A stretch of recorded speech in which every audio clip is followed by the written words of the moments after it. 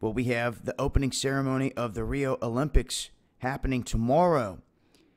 And the situation down there right now is said to be dire in terms of the water, with the World Health Organization reporting that athletes down there need to take precautions. Anyone that is participating in open water sports should not swallow the water.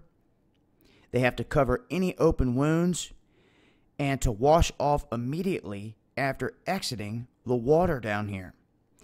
Now, there's been tests done, and they're saying that when it comes to bacteria and sewage and everything found in the water, that it's 200 times the legal limit of what they have in place here in the United States. Now, we've heard of all kinds of things happening down here Zika.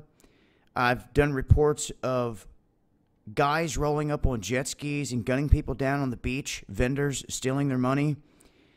Uh, a lot of different things happening in this area, but as far as the water and the environment, it looks to be pretty tainted at this point. Anyone that is expecting to go down here and get into this water, they're saying that you need to take precautions. And you have all kinds of different Olympic athletes that are going to be participating and swimming in this water. So we'll have to sit, sit and wait and see if anything happens in terms of people getting sick, infections,